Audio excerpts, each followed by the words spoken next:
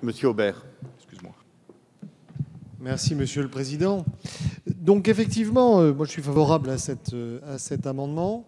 parce que je pense que la liberté syndicale ne se découpe pas en tranches.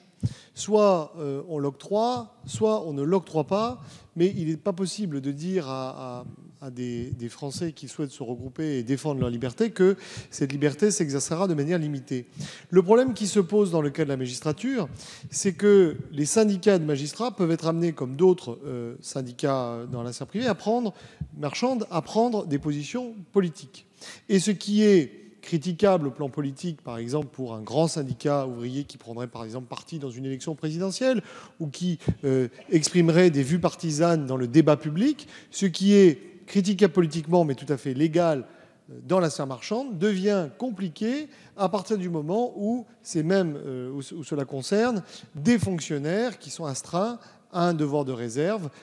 plus particulier, à une indépendance également, et où leur, leur positionnement ne doit pas être entaché évidemment d'arrière-pensée partisane. Et par conséquent, comme on ne peut pas créer des syndicats dans la magistrature qui seraient dépourvus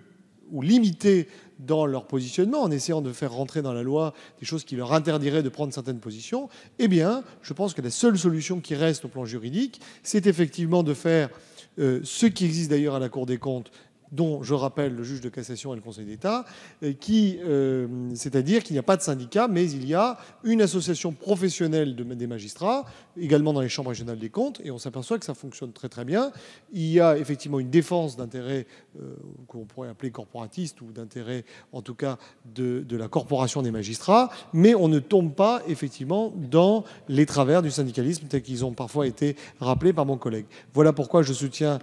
cet, cet amendement en pensant qu'effectivement il permettra d'éviter ce qu'on a connu avec le fameux mur qui a effectivement euh, perturbé le fonctionnement de l'institution judiciaire. Merci Monsieur Aubert.